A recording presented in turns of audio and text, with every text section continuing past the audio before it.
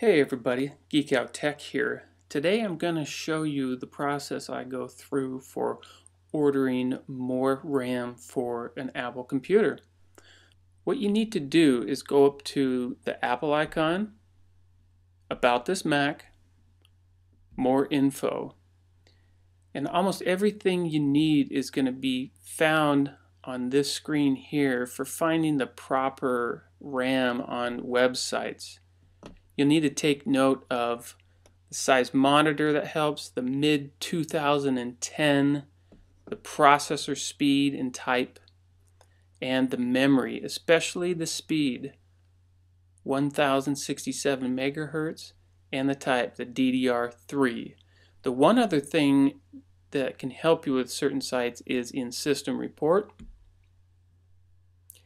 and it is this model identifier. My MacBook Pro here is MacBook Pro 7, 1. All right, let's go to the website that I like to use for purchasing RAM, and that is macsales.com. And the name of the company is Other World Computing, OWC. So once you get to this site, you go over here to Memory, click there, this page is categorized by the type of system you have. This is a MacBook Pro, so I'm going to click on the laptop section here. And here we can further nail down what we need. This MacBook is a mid 2010 13 inch in this section right here. Notice the 2010 MacBook Pro 13 inch.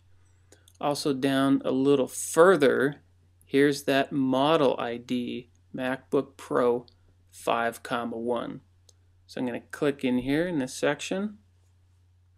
And this page here tells me all the systems that take this type of memory. There's quite a large list. Mine is the 13 inch right up here, 13 inch, 2.4 gigahertz. You can also scroll down a little bit here and there's that model identifier again, MacBook Pro 5, comma 1. what's nice on this site too is that up here it's telling me the OWC has tested these systems and made sure that they support a maximum amount of memory of 8 gig.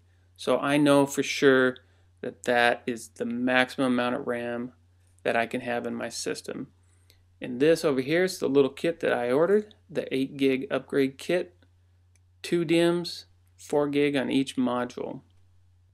So that's how I go about finding the proper RAM for an Apple computer.